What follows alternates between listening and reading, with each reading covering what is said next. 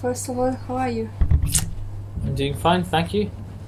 Uh, I think that uh, this is gonna be a very great show for us. Uh, we all have a good feeling about the show, which we don't normally have.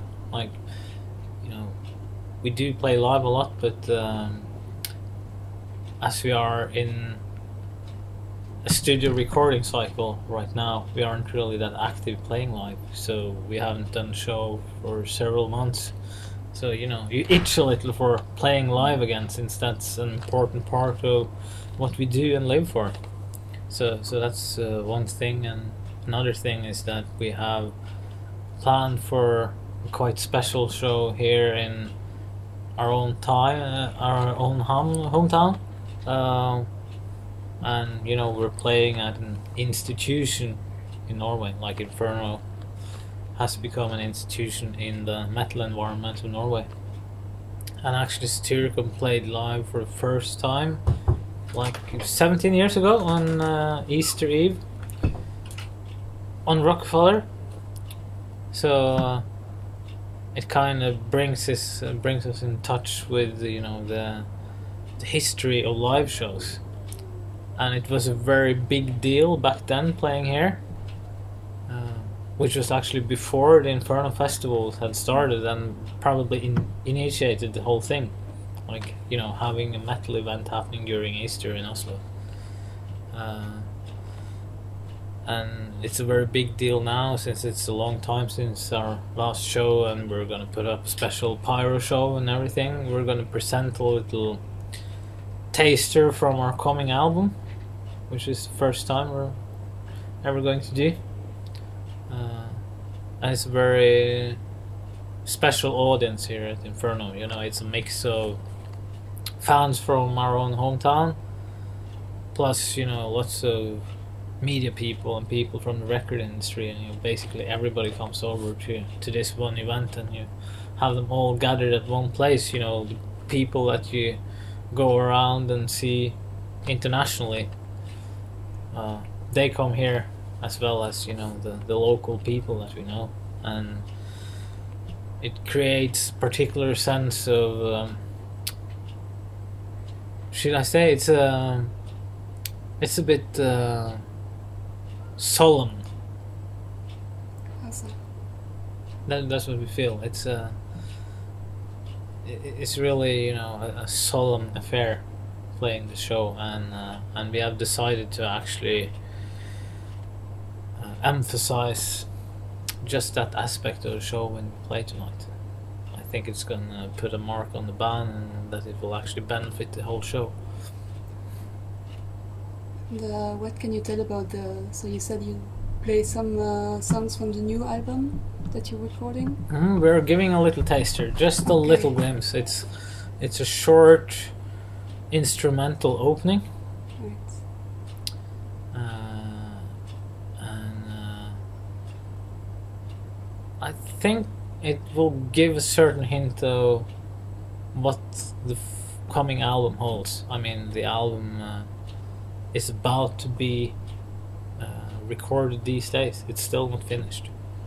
Uh, but I think that this one song will give a certain glimpse of what is to come. But it doesn't tell that much either because uh, it's a short instrumental while there are you know nine other songs on the album while where most of them are ordinary songs with structure and, and vocals and you know all the traditional elements. But it, but it tells something.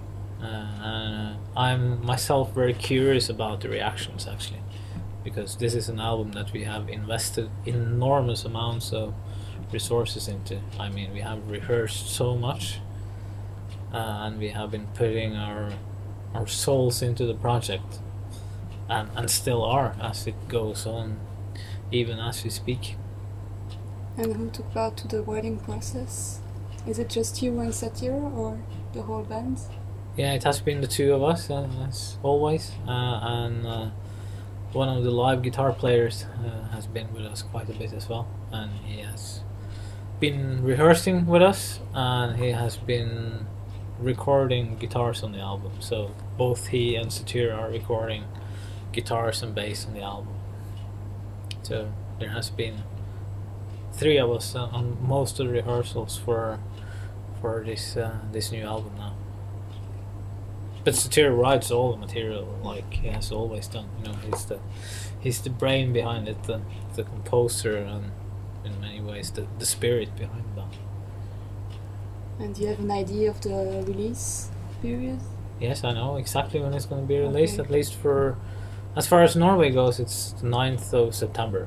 I think it's basically the same for for the other territories, like Right.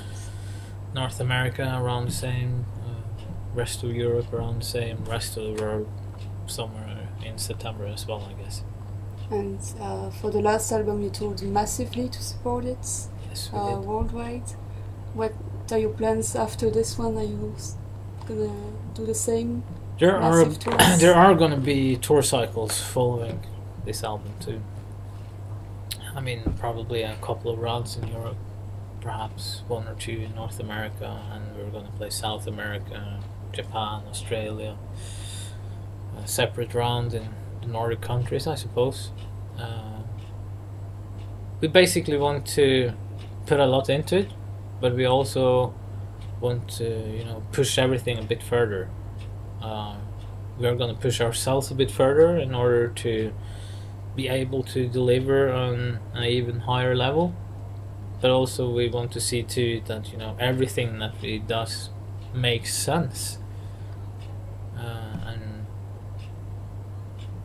when we plan the tours we're going to put a little more work into you know making tours being good good tours and not you know just do lots of shows because uh, logistics dictate it. You know, if we're going from one place to another and uh, there's a long drive, we don't simply, you know, put up a show somewhere in between the two places because that's practical. We're gonna set up shows where we know that we have, you know, a decent fan base uh, and where there are good places for us to play.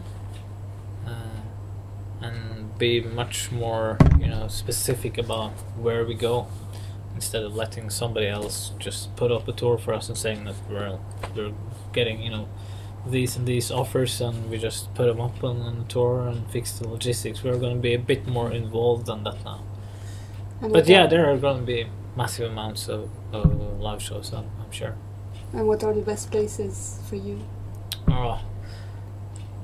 You know, it gets more and more difficult to point out uh, as we have toured quite a lot now, and there have been many good shows. And you know, sometimes we experience that we have some of the best shows in places where we have pretty negative experiences from beforehand.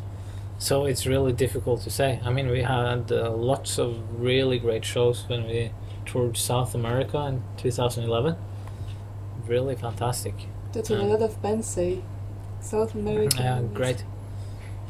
Really, really awesome. So, so that stands out. But I mean, you can get just uh, as good the crowd in in Moscow as in in uh, Chile, in Santiago, for instance, uh, where we had a really good crowd, or or um, Sao Paulo or, or Buenos Aires. I mean, the Moscow crowd is a really, really good one. We have good crowds in in Milan and Paris and London, all the larger cities. So I mean, there are lots of places where we like to play now, and some of the larger cities in North America are usually fantastic as well. And sometimes, you know, we expect nothing, and it turns out to be great. So.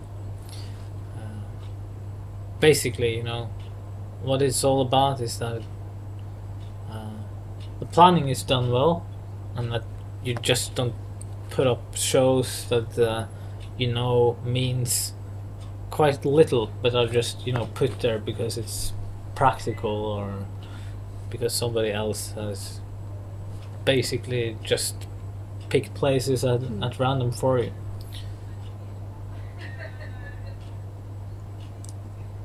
Do you have anything else to say?